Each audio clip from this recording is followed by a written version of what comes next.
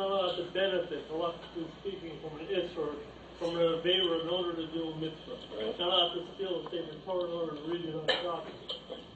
If Golos is essentially Если жить в изгнании – это грех, тогда почему израильские евреи принимают пожертвования и таким образом извлекают выгоду из этого так называемого греха?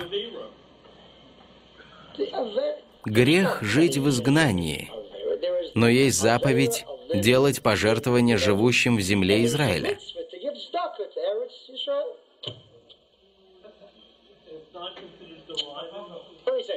Я вам скажу кое-что. Предположим, человек не является религиозным евреем. Разве мы можем препятствовать ему делать пожертвования или соблюдать шаббат?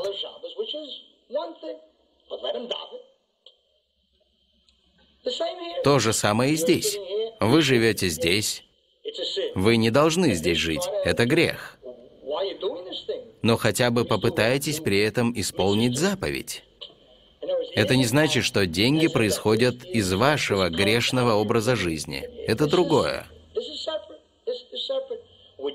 Разве вы бы не взяли деньги у продавца, магазин которого открыт в шаббат? Работать в шаббат – грех. Но есть и заповедь помогать.